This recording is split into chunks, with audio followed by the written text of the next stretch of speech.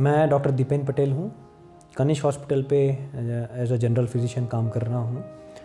आज मैं आपको थायराइड के विषय में कुछ छोटी सी जानकारी देना चाह रहा हूँ। थायराइड ग्लैंड हमारे कंठ में स्थित है, जहाँ पर हमारी सांस की नली होती है, उसके इर्द गिर्द मौजूद होता है, उसका राइट और लेफ़्ट पार्ट होता है।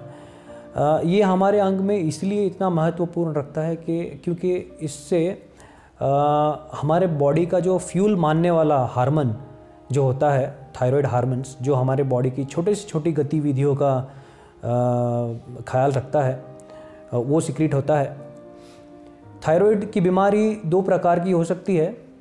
अगर थायराइड बढ़ जाए तो जिसमें टीएसएच कम हो जाता है, जिसको हाइपरथायरॉयडिज्म कहते हैं, और दूसरा प्रकार है कि थायराइड घट जाए, जो कि सबसे मोस्ट कॉमन ज़्यादातर सभी लोगों को हाइपोथायरॉयडिज्म होता है जबकि हमारा टीएसएच लेवल ऊपर बढ़ जाता है और थायराइड हार्मोन कम काम करता है थायराइड ग्लैंड कम काम करती है।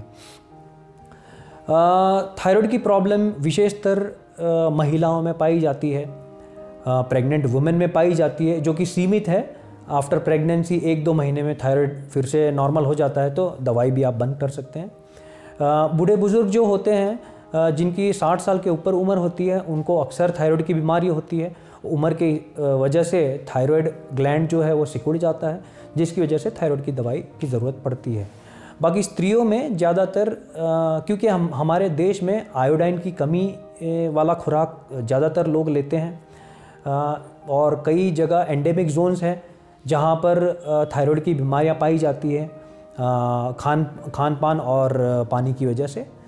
तो ज़्यादातर महिलाएँ छः से आठ गुना ज़्यादा महिला, महिलाओं में थायराइड की बीमारियाँ पाई जाती है।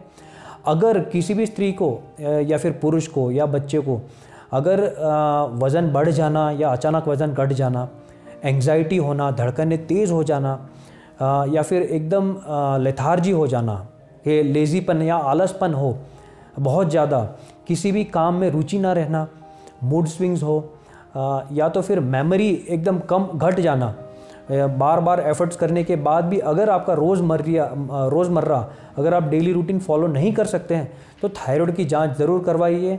हम कनिष्क अस्पताल में आपको बेस्ट से बेस्ट सेवा देंगे, जल्द से जल्द रिपोर्ट भी होगी, उसकी पुख्ता जाँच करेंगे। पुख्ता जाँच में थायराइड का प्रोफ़ाइल होता है अल्ट्रा थायराइड का अल्ट्रासाउंड होता है, और थायराइड की एंटीबॉडीज़ की रिपोर्ट्स भी होते हैं। तो everybody is welcome to investigate their thyroid problems अगर कोई भी लक्षण आपको लगे तो थायराइड की जाँच ज़रूर करवाइए। कई बार थायराइड की बीमारी छुपी हुई होती है, इसके कोई स्पेसिफिक लक्षण नहीं होते हैं।